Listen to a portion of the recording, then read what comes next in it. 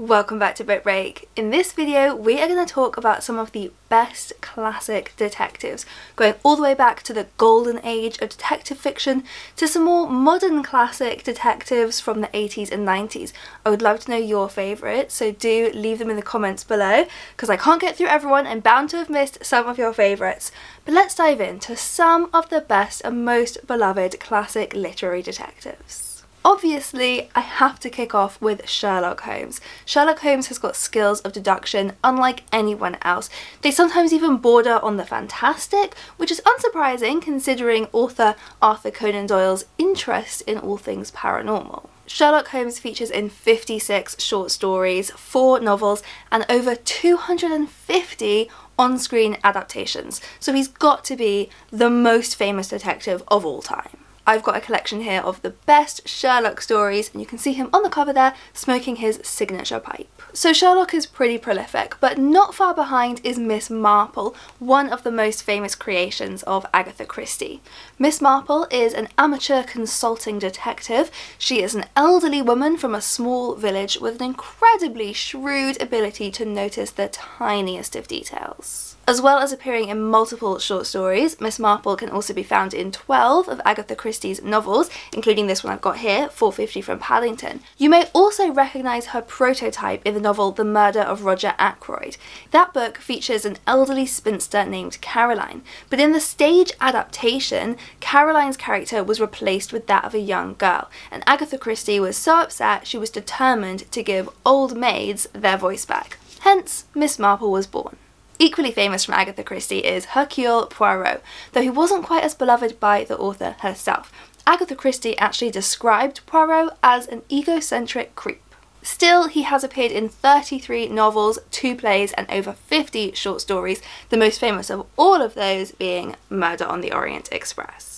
And Christie fans do watch this space because a really exciting novel is coming out next year called The Christie Affair. I have read an advanced copy and I absolutely loved it. It is a fictionalized version of what might have happened during the period of time when Agatha Christie went missing. It's absolutely fantastic. It feels like a real Christie-esque mystery. Watch this space. I will put a pre-order link below. I do really recommend that one.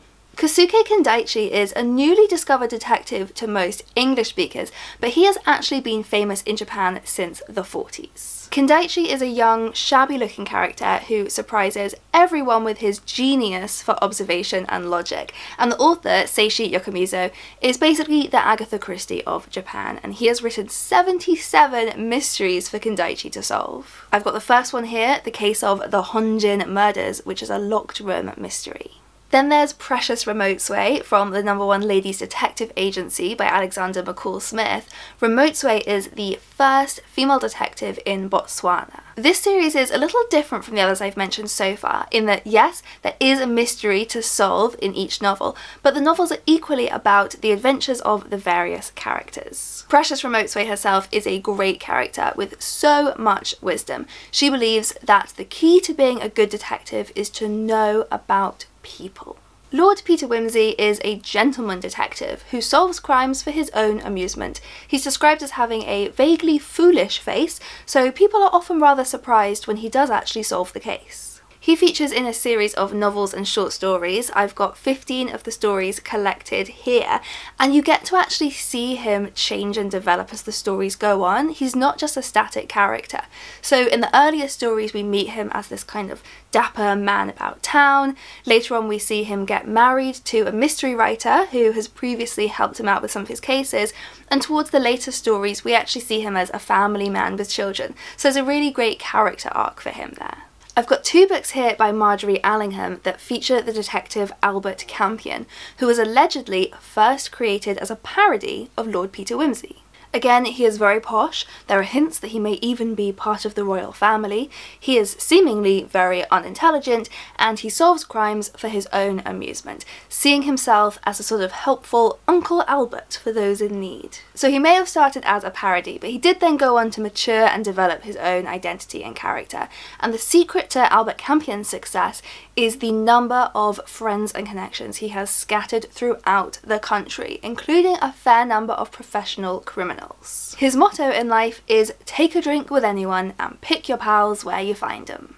Of course I had to include Nancy Drew, a teenager with a knack for solving mysteries, some that she just stumbled across, some that started out as cases on her attorney father's desk. Unlike the other detectives that I've mentioned so far, Nancy Drew doesn't just have one author. She was actually created by a publisher to be a female counterpart to the Hardy Boys. So even though the Nancy Drew books are all published under the pseudonym Carolyn Keene, they're actually ghostwritten by a number of different authors, and as a result of that, you can see her character change quite a lot throughout the series. In the early books that appeared in the 1930s, she was actually a lot more violent and unruly than the older, more professional version that gained popularity in the 80s. But across all the versions, she is still the same energetic, strong, bold, ambitious young woman that we know and love. If you've been watching the Netflix show Lupin, you will already be familiar with Arsène Lupin, gentleman thief who also moonlights as a detective. Lupin is a master of disguise. He steals from the rich, he outsmarts the police, and he is very generous to those in need. He's a French Robin Hood, and he even has a run-in with Sherlock Holmes himself. Easy Rawlins is a great character created by Walter Mosley. He is an unlicensed private detective with no background or training in law enforcement. In the book where we first meet him, we see him being let go from his factory job by a racist employer, and needing money to pay his mortgage, he agrees to get involved in the hunt for a missing woman. This of course then leads him on a trail through crime and corruption in 1940s LA and sets him nicely on a new career path. So this is classic hard-boiled detective fiction but also that addresses issues of racial inequality and social injustice.